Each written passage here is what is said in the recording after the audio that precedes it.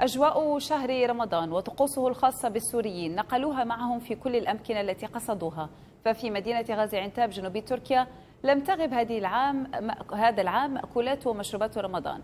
التفاصيل في سياق تقرير عماد كركس من غازي عنتاب التركية.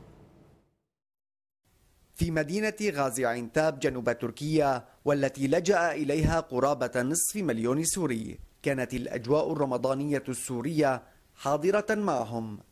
كما وأنهم في بلادهم.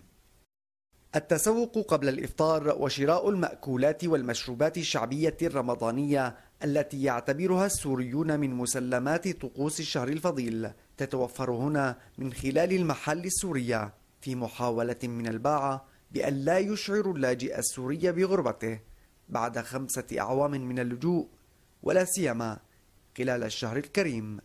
صرنا أربع سنين هون بتركيا يعني متغربين عن البلد يعني. فاخترنا هون معروك وسوس ويعني نرجع يعني أيام زمان يعني شوي نرجع ل اللي كنا ناخذه بسوريا يعني. يعني كأنه يعني بحلب أو بسوريا. كل المأكولات كل المنتجات موجودة. المطبخ السوري يحضر بقوة في عين تأب من خلال المطاعم السورية التي تسعى لتقديم الموائد التي تناسب أجواء رمضان. ليجتمع حولها سوريون يغلبهم الحنين ليعودوا ويعيشوا أجواء رمضان في بلادهم وربما يحاولون إطفاء حنينهم. هنا بعض الشيء.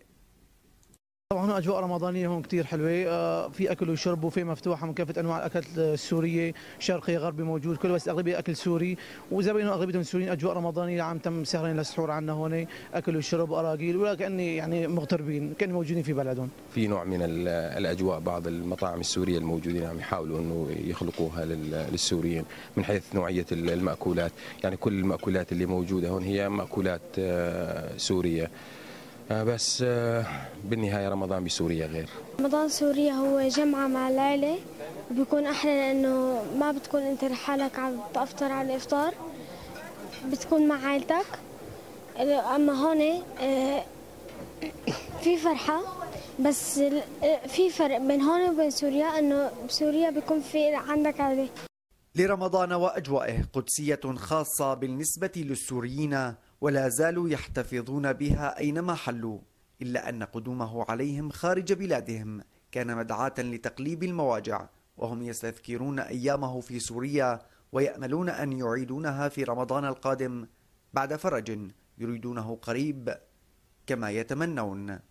عماد قرقص لأخبار الآن من مدينة غازي عنتاب جنوب تركيا.